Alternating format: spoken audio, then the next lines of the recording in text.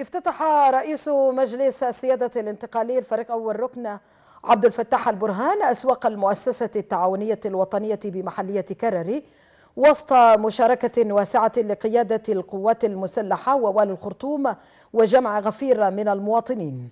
وأكد البرهان لدى مخاطبته حفل الافتتاح استعداد القوات المسلحة لترك العمل السياسي وجاهزيتها لاستكمال تشكيل الحكومة المدنية دون ابتزاز أو وصاية متى ما أبدت القوى السياسية الجدية والحرص على ذلك. وأشاد البرهان بتضحية القوات المسلحة كما أضاف أن افتتاح هذه الأسواق يهدف إلى سد المنافذ أمام المضاربين والوسطاء.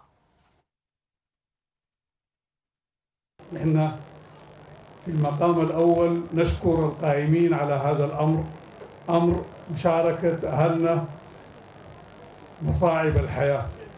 شكر امتد لكل القائمين على أمر هذه الأسواق إذا كانت في المؤسسة التعاونية أو الولاية.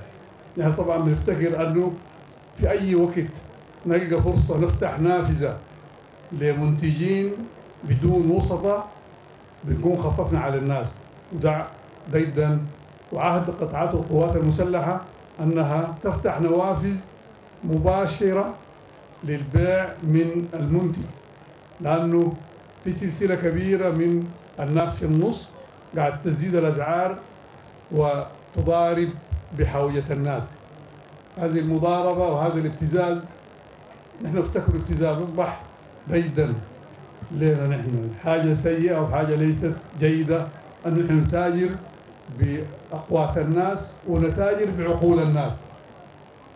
نحن نكرر شكرنا للقائمين على أمر الأسواق. وبنشكر أخواننا المنتجين وأصحاب المصانع وأصحاب المحلات.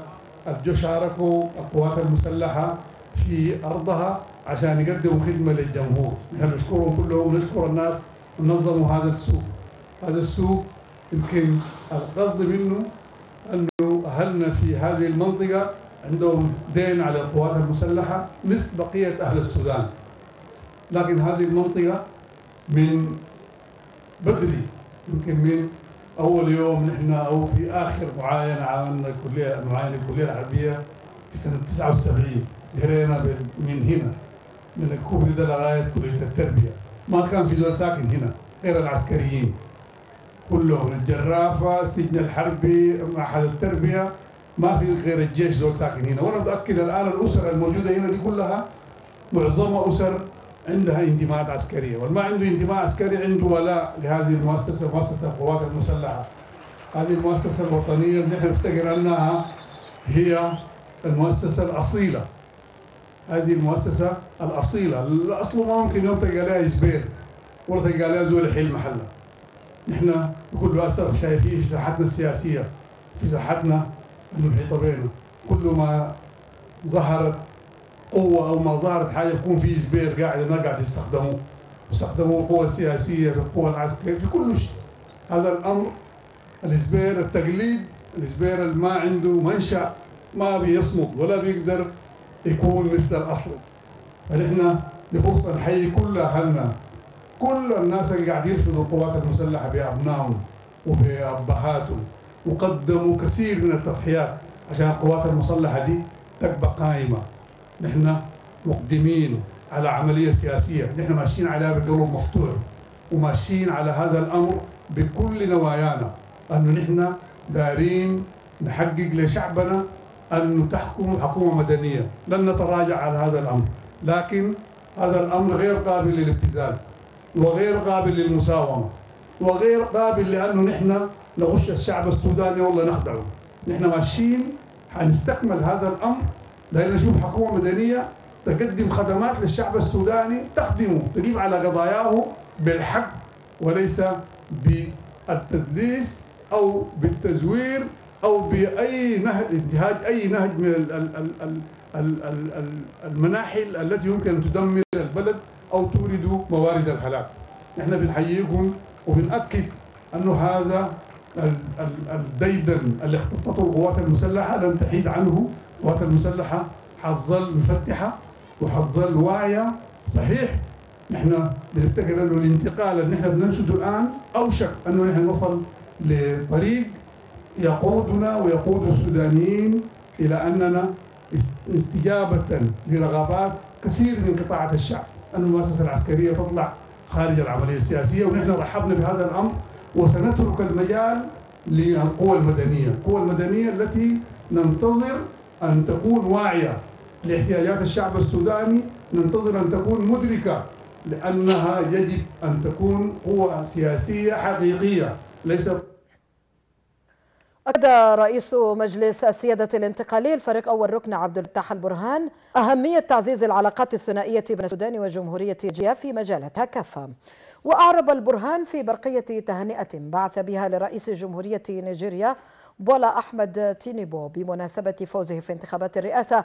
أعرب عن تطلعه للعمل مع نيجيريا من أجل تطوير العلاقات الثنائية في مختلف المجالات.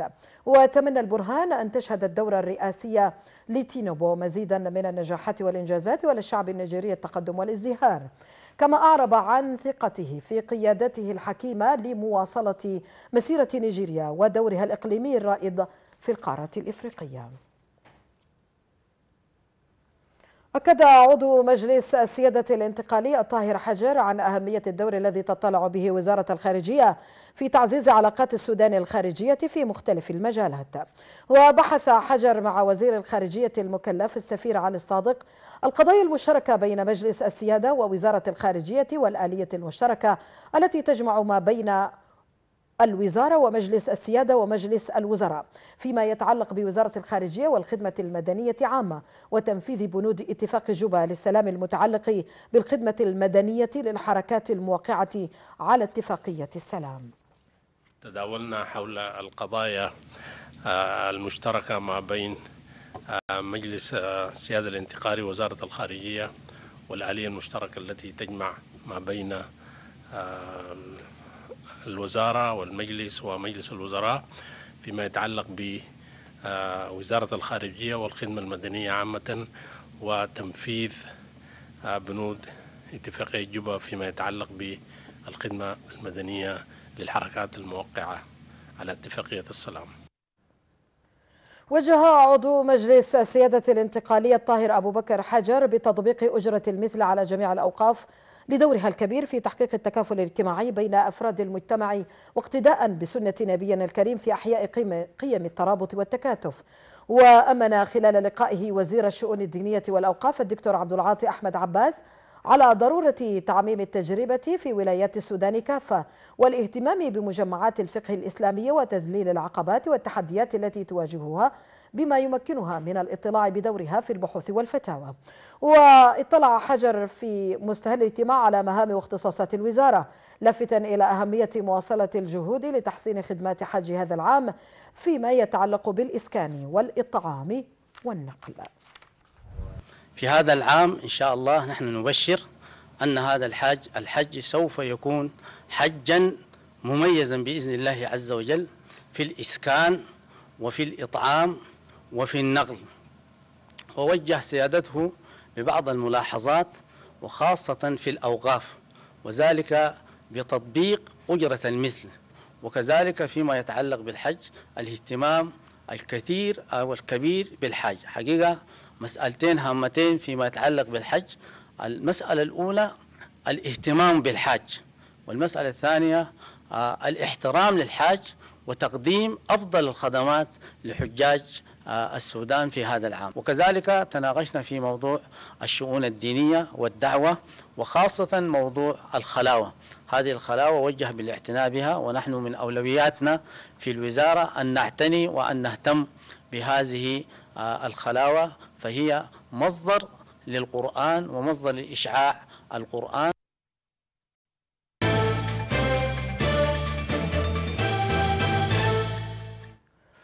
اعتمد قطاع التنمية الاجتماعية والثقافية بمجلس الوزراء في اجتماعه برئاسة وزير التربية والتعليم المكلف محمود سر الختم الحوري الخطة القومية للتدريب والتي تهدف إلى المساهمة في نشر الوعي بأهمية التدريب وإقامة المؤتمرات والندوات العلمية المتخصصة في مجال التدريب ووضع الشروط والمعايير المطلوب توفرها في المؤسسات والمراكز التدريبية ومراكز التدريب الخاصة وتكوين هيئة لاعتماد هذه المعايير.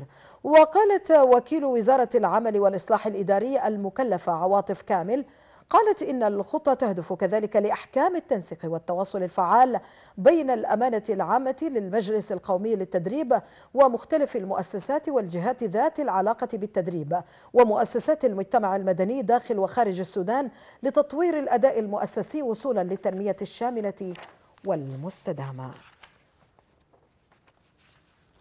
جدد حاكم إقليم دارفور مني أركو مناوي دعم حكومتي لجهود ولاية شمال دارفور في مجالات الأمن وتقديم الخدمات الضرورية للمواطنين في المدن والأرياف وتحسين معاشهم. ودعا مناوي خلال اجتماع مشترك جمع حكومتي إقليم دارفور وولاية شمال دارفور إلى ضرورة توزيع قوات حماية المدنيين بدارفور حتى تسهم في استقرار الأوضاع الأمنية وإنجاح الموسم الزراعي. وناقش حاكم إقليم دارفور وفقا خلال الاجتماع وفقا لوالي شمال دارفور نمر محمد عبد الرحمن تجارة الحدود والمحور الزراعي والحيواني وعمل السلم والمصالحات وتنفيذ مشروع راديو سوا بدارفور. الغرض الأساسي من العمل والتنسيق والتعاون هو تقديم الخدمات الأساسية للمواطنين وبرضو في العمل في تنمية البلد. ناقشنا برضو قضية تجارة الحدود. ناقشنا أيضا القضية بتاع تجارة الحدود بشكل عام. ناقشنا أيضا الشرطة المجتمعية اللي نحن قاعدين نقوم به. في ولاية شمال دارفور وبرضو اتفقنا أنه يكون منسوقة باتفاقية جوبا لسلام السودان. لقينا أن هذه المؤسسات يعني تقدم خدمة كبيرة جدا من هنا وهناك ولكن المستوى بتاع التنسيق كان يعني بحكم طبعا حكومة الإقليم حكومة جديدة وكده فعشان كده كان مستوى التنسيق ممكن محتاج لجهد كبير جدا وبالتالي ان إحنا وقفنا على تركيز على الجانب ده. ومن تنفيذ مشروع راديو توا سوا بدارفور إلى ولاية غرب كردفان حيث شهد وزير التنمية الاجتماعية أحمد آدم بخيت بمحلية الأضية بغرب كردفان انطلاق برنامج صحائب الرحمة في نسخته العاشرة والذي تنفذه الأمانة العامة لديوان الزكاة بالولاية. وأشاد الوزير بدور ديوان الزكاة بالمحلية من خلال محاور البرنامج التي تعين الأسر الضعيفة والمحتاجة ودعا حكومة الولاية وديوان الزكاة بخلق برامج هادفة تقلل من حدة الفقر وترتكز على المنهجية والعلمية. نريدهم بالتنسيق مع الولاية ومع ديوان الزكاة ومع كل الآليات التي تعمل لمكافحة الفقر أن يأخذوا قفاز التحدي ويعلنوا أنه أنهم سيصفرون الفقر في هذه المحلية خلال فترة يتفق عليها. وهذا ممكنا. أنا أعتقد محتاجة فقط لحبة حسابات وتضريبات ومعلومات عن أن الفقر نسبته كم في هذه المحلية. أكد السفير السوداني لدى الصين عمر صديق عن أهمية العلاقات بين الخرطوم وبكين في مجالاتها المختلفة السياسية منها والاقتصادية.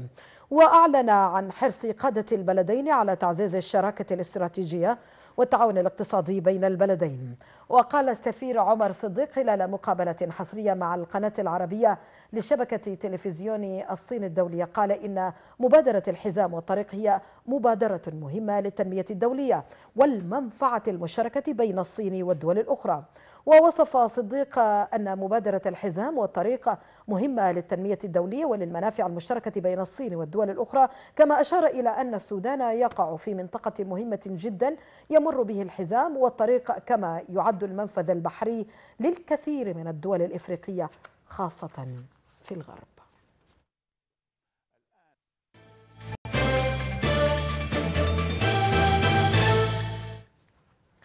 شهدت ولاية جنوب دارفور في حاضرتها نيال مسيرات شعبية وسياسية مؤيدة للاتفاق الإطاري واعتبرته السبيل للخروج من حالة الاحتقان السياسي لتحقيق أكبر قدر من التوافق بين أبناء الوطن لإكمال ما تبقى من عمر الفترة الانتقالية وصولا لانتخابات حرة ونزيهة بنهاية الفترة الانتقالية.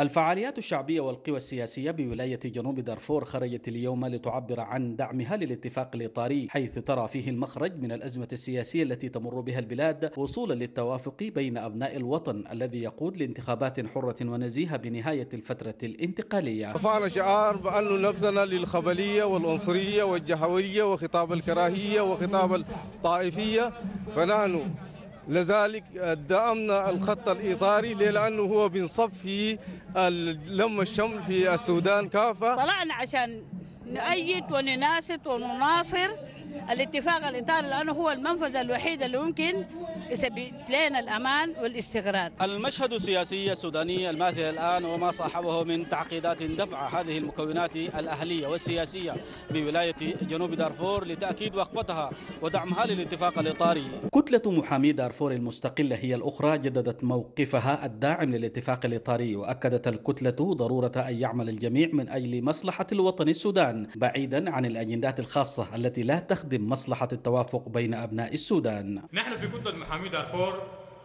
ندعم بشدة الوفاق الوطني الجامع في الإطار في الاتفاق الإطاري.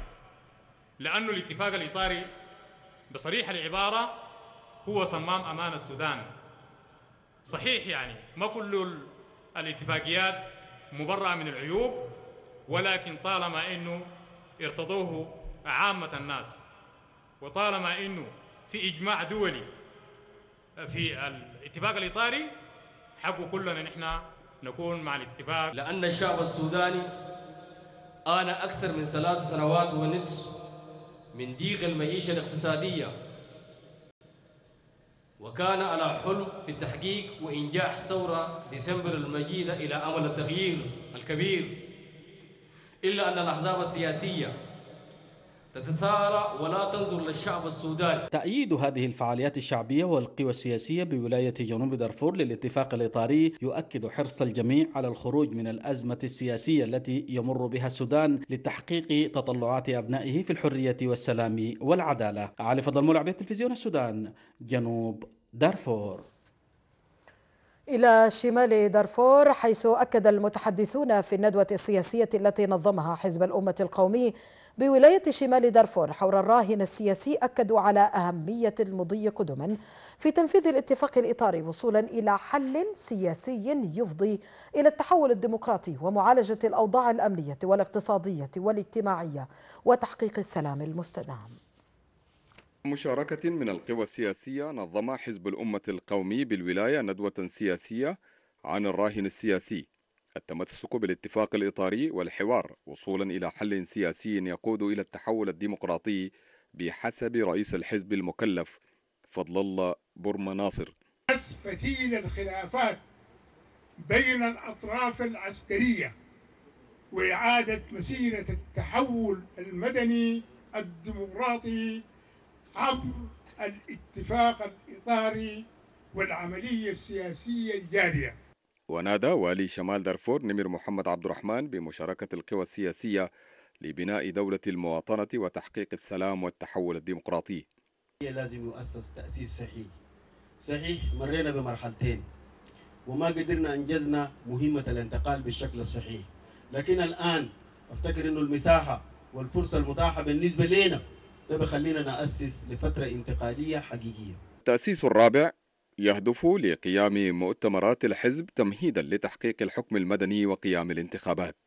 ده العمل التنظيمي اللي فيه استعداد حزبنا الواسع للوثبة الرابعة لنخوض الانتخابات القادمة بإذن الله ولأول نقيم مؤتمرنا العام الثامن في الأيام القادمة حالما تنتهي العملية السياسية. يكن سياسي تشهده الأحزاب والقوى السياسية بالولاية تمهيدا للفترة القادمة. عبد الماجد الأحنف تلفزيون السودان ولاية شمال دارفور الفاشر. إلى ولاية غرب دارفور حيث شهد واليها خميس عبد الله بكر تخريج دفعة جديدة من القوات المسلحة بالفرقة الخامسة عشر مشاة. وأكد والي غرب دارفور أن الدفعة المتخرجة سيكون لها دور في ترسيخ دعائم الأمن والاستقرار والحفاظ على النسيج الاجتماعي. وأشاد أيضا بالجهود التي تبذلها قيادة الفرقة في فرض هيبة الدولة ورتق النسيج الاجتماعي داعيا المتخرجين إلى ضرورة عمل كل ما يتطلب حتى ينعم الوطن بالسلام والاستقرار. بعد اكتمال الإجراءات الإدارية يجب أن يتوزعوا في مناطق الهشاشة الأمنية وفقا لتقديرات اللجنة الفنية لولاية غرب دارفور. بعد أن نالوا جرعات التدريب الكاملة وتدربوا على فنون القتال هذا العقد الفريد المتفرد وهذه الدفعة. وهذه الدفعة ستكون عونا وسندا وعضدا للبلاد والعباد وللولاية بصورة خاصة.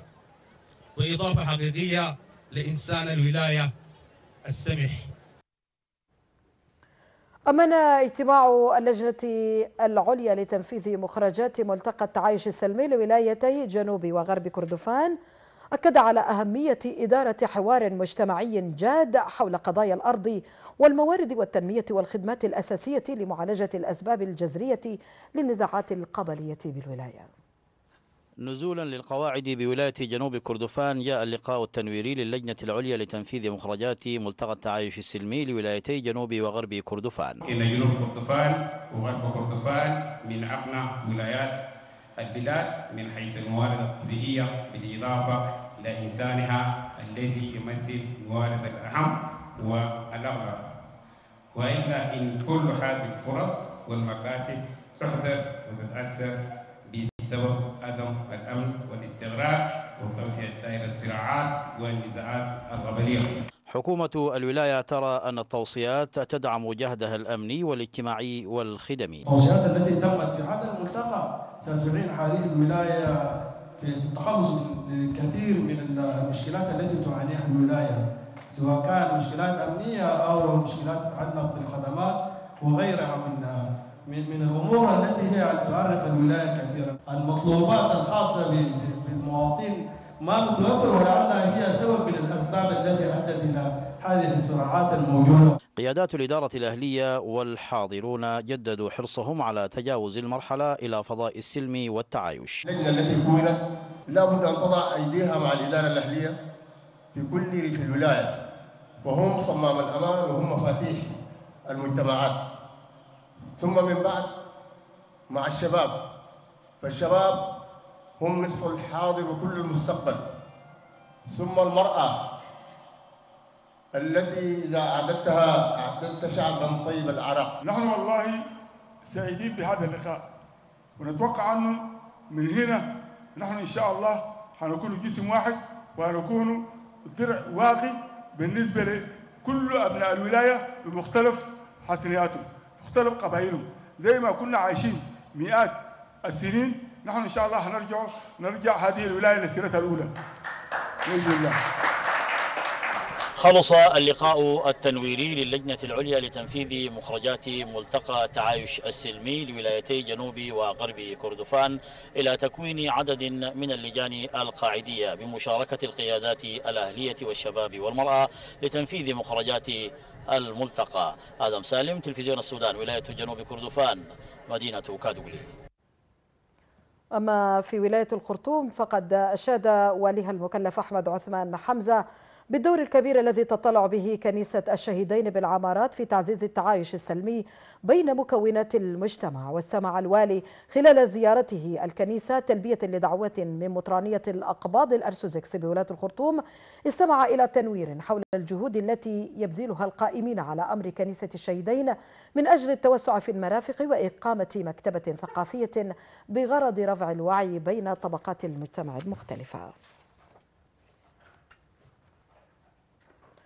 كما أعلن والي الخرطوم المكلف أحمد عثمان حمزة أن الحكومة الانتقالية تعمل على رد المظالم التي سلبت دون وجه حق على المستويين العام والخاص ومنع التغول والتصرف على الميادين والمواقع التي خصصت للشباب لممارسة الأنشطة الرياضية والثقافية.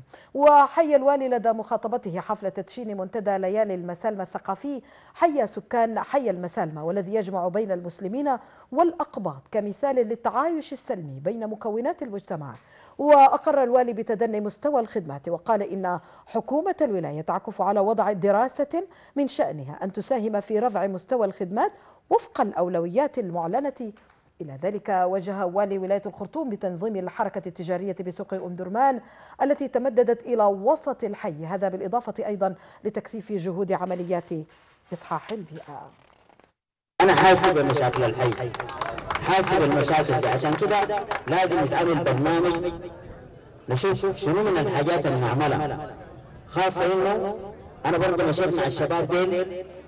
مشينا الميدان بتاع حي العرب جوا ولقيناه كيف إنه يتحول إلى ورشة وكيف يتحول إلى هياكل بتاعت عربات. وكان وجهنا فيه موجهات. إنه يتفرغ من الحاجات اللي عشان تعود له الرياضة. أنا برضو بحيي أخواننا لجنة المغابر مغابر البكري.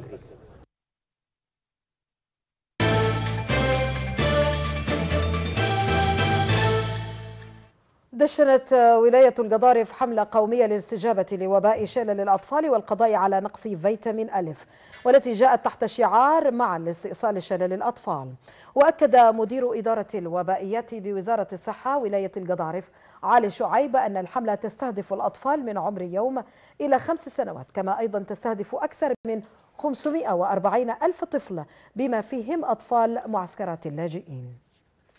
الحملة مستهدفة الأطفال من عمر يوم لحد خمسة آه، سنوات. آه، مستهدف الحملة قرب 540179 طفل. دول كلهم نحن مستهدفينهم في الجولة دي بإذن الله. الاستراتيجية من منزل لمنزل. الأتيام العاملة في الجولة إن شاء الله هو 1022 تيم. مستهدفين كل المجتمع بما فيهم اللاجئين والرحل والنازحين. وفي ولاية شمال دارفور بدأت الحملة القومية للاستجابة لوباء شلل الأطفال والقضاء أيضا على نقص فيتامين ألف التي تشمل جميع المحليات وتستهدف حوالي 710 ألف طفل وطفلة. وأكد مدير إدارة التحصين الموسع بوزارة بالوزارة يوسف عبد الوهاب عن أهمية الحملة في حماية الأطفال. كما نشد مجتمع الولاية التعاون مع فرق التطعيم والتي تعمل بنظام من منزل إلى منزل من الوصول إلى جميع الأطفال. مهمة جدا جدا لإعطاء لقاح شلل الأطفال ونقص فيتامين ألف في كل محليات ولاية شمال دارفور. تمت للقضاء على هذا الفيروس اللعين اللي هو فيروس شلل الأطفال المتحور من من اللقاح النمط الثاني. وبالتالي هي اللقاحات آمنة وفعالة ويمكن بغضي على هذا الفيروس اللعين. دشن المجلس القومي لرعاية الطفولة دراسة حول الإنفاق العام الموجه للأطفال على المستوى الاتحادي والتي أعدتها دائرة الأبحاث الاقتصادية والاجتماعية بوزارة التعليم العالي والبحث العلمي بالتطبيق على ولايات البحر الأحمر النيل الأزرق جنوب كردفان ووسط دارفور. وأظهرت الدراسة تدنى الإنفاق العام على الأطفال في قطاعات الصحة التعليم والحماية الاجتماعية. وأشارت الدراسة أيضا إلى التأثير الذي أحدثته التغيرات الهيكلية في الاقتصاد على الإنفاق الموجه للأطفال. كما وصف الأمين العام للمجلس القومي لرعاية الطفولة دكتور عبد القادر أبو الدراسة بأنها خطوة مهمة.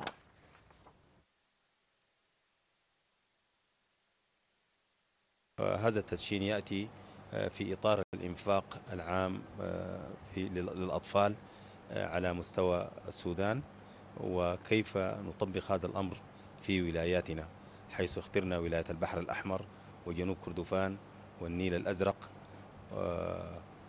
هذا هذا العمل في أربع ولايات. هذا العمل مهم جدا لتعزيز الصرف على الأطفال ولتعزيز الاهتمام بتضمين الأطفال في الميزانيات العامة.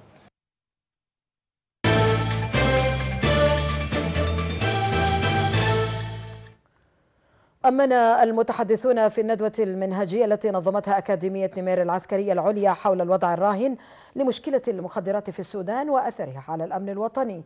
أمنوا على أن ظاهرة انتشار المخدرات بكل أنواعها أصبحت هاجزا يؤرق البلاد والأسر ودعوا إلى ضرورة تكاتف الجهود الرسمية والشعبية للحد من انتشار المخدرات وضرورة تفعيل قانون مكافحة المخدرات وردع كل من تسول له نفسه الإتجار في عقول البشر.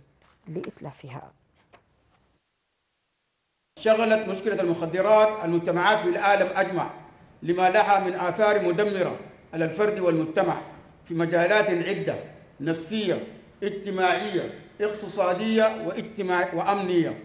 وأصبح تعاطي المواد المؤثرة عقليا المخدرات خطرا يحدد الكثير من أبناء المجتمعات المختلفة. بل زاد خطره إلى درجة استخدامه كسلاح خفي في الحروب بين الدول. مستهدفا بشكل خاص فئة الشباب منهم من أجل تحويلهم من قوة وطنية فاعلة ومن- ومنتجة إلى قوة خاملة لتدمير وشل حركة ذلك المجتمع وتبديل ثرواته وطاقاته. إلى الولايات الشمالية حيث شهد ممثل والي الشمالية عبد القادر محمد سعيد إبادة عدد من السلع المهربة وأشاد بجهود إدارة مكافحة التهريب مشيرا إلى أن الولاية تمثل معبرا لمثل هذه السلع الضارة والمحظورة.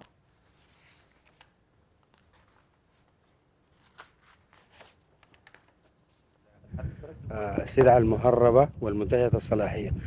نحن حقيقة نشيد بأخواننا في مكافحة التهريب لهذا المجهود الجبار. وده مجهود يعني يجب الوقوف عنده والإشادة بأخواننا في المكافحة. نحن الآن نشهد إبادة لسلع وبضائع محظورة وممنوعة مؤثرة صحيا ومؤثرة اقتصاديا.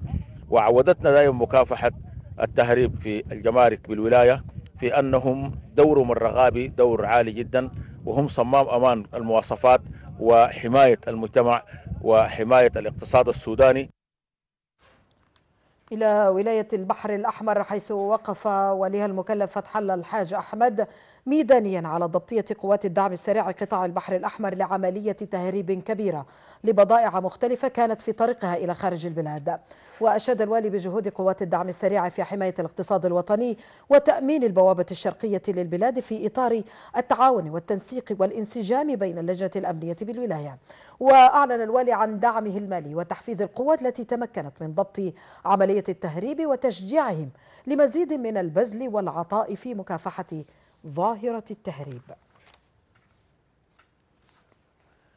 يحتسب المدير العام للهيئة العامة للإذاعة والتلفزيون والعاملون بالهيئة يحتسبون عند الله تعالى زميلهم خبير هندسة المونتاج الزميل محمد علي أحمد الذي التحق بالعمل في التلفزيون في العام 1980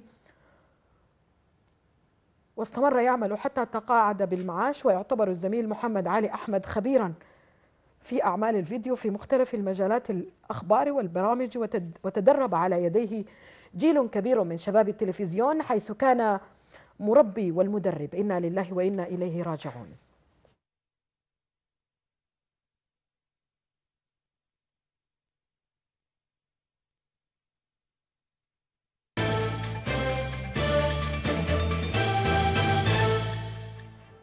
مشاهدي الكرام مواصلة لهذا العرض الإخباري. ننتقل إلى الزميل صدام أبو خليف والنشرة الاقتصادية. مساء الخير. يا مساء النور زميلة سارة. السلام عليكم مشاهدينا الكرام. أعلن وزير المعادن محمد بشير عبد الله استمرار الوزارة في إجراء إصلاحات شاملة على قطاع التعدين في عدد من المحاور لا سيما مراقبة عمل الشركات المحافظة حسب ما جاء في اتفاقات الامتياز. وبحث الوزير في لقائه والي غرب كردفان معتصم عبد السلام عوض ووالي جنوب كردفان المكلف محمد إبراهيم عبد الكريم بحث المشكلات التي تواجه التعدين بالولايتين والتزم وزير المعادن بمعالجة جميع الإشكالات عبر أجهزتها المختصة. ضمن زياراتنا آه، لعدد من الوزارات اليوم التقينا بالسيد وزير المعادن الاتحادي وتناقشنا معه في عدد من المواضيع الهامة التي تخص ولاية آه، جنوب كردفان. والخاصة بمسألة آه، التعدين التقليدي والشركات آه، والمستثمرين وتوصلنا معه إلى بعض التفاهمات والحلول. وإن شاء الله نحن نجتهد آه، جميعا آه، على أساس أنه آه، نقدر نعالج بعض الإشكالات الموجودة على الأرض. ناقش اللقاء عدد من المواضيع اللي بتهم ولاية غرب كردفان وولاية جنوب كردفان آه، من ضمنها مخلفات التعدين والاستكشافات اللي آه، في في في الولايتين وضرورة التنسيق بين الولاية وبين وزارة المعادن خاصة في ال- آه، ال- ال- الامتيازات اللي بتمنح لبعض الشركات. أعلن والي الجزيرة المكلف إسماعيل عوض الله العاقب التزام حكومة الولاية بتنفيذ توصيات المؤتمر الاقتصادي الأول بالولاية للتأسيس لخارطة طريق علمية لتنمية موارد الولاية. استضافت مدينة ود مدني حاضرة ولاية الجزيرة المؤتمر الاقتصادي الأول تحت شعار نحو استقلال الأمثل ومستدام لموارد الولاية بشراكة مع جامعة الجزيرة وبحضور واسع من الجهات المعنية. ويهدف المؤتمر لوضع خارطة استثمارية بطرق علمية لجذب الاستثمارات المحلية والأجنبية. آه، في فكرة برضه مع شركة تركية بأنه آه، نخش معها في شراكة بأنه تعمل لنا مسلخ آه، للصادر.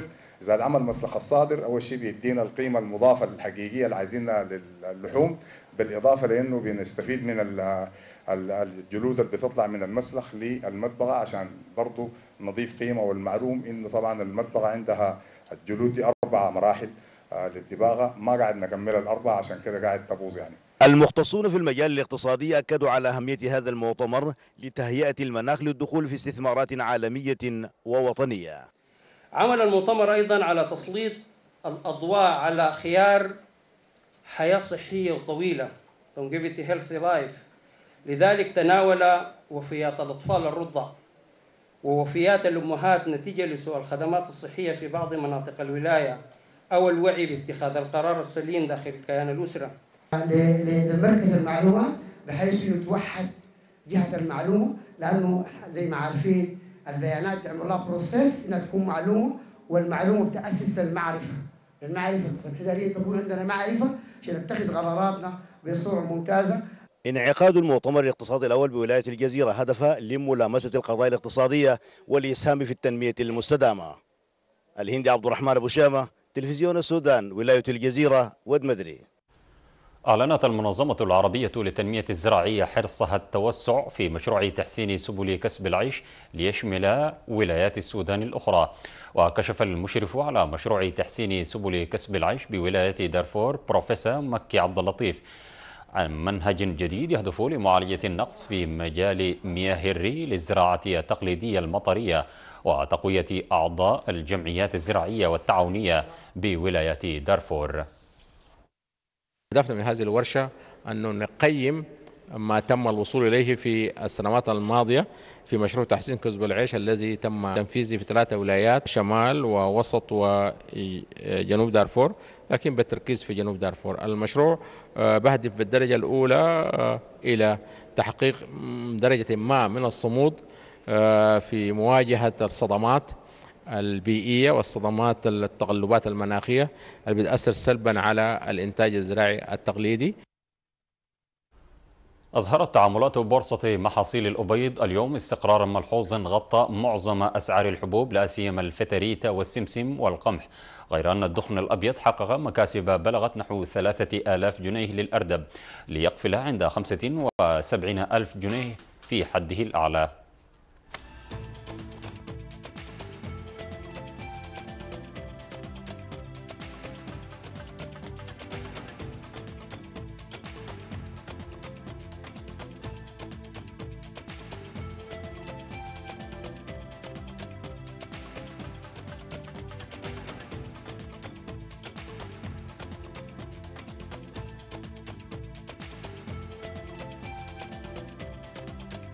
رغم أن أسعار الذهب سجلت استقرارا ملحوظا مقارنة بيوم أمس في تعاملات أسواق الخرطوم وقفز سعر الجرام عيار 24 إلى 38 ألف جنيه مقارنة ب 35 ألف جنيه خلال الفترة الماضية.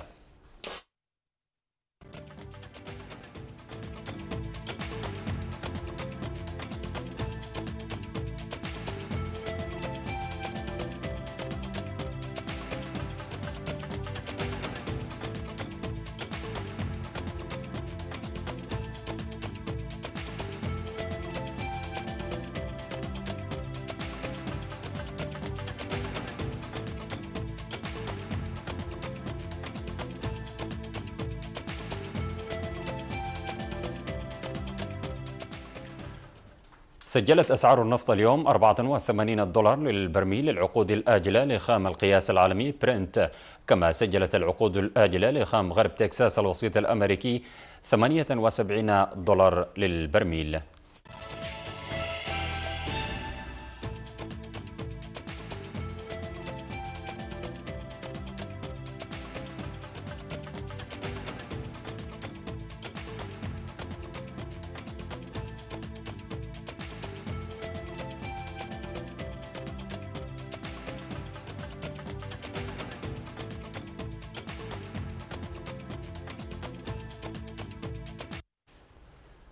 ختام جولتنا الاقتصادية هذه عودة إلى الزميلة سارة فضل الله لاستكمال ما تبقى من هذا العرض. إليك سارة.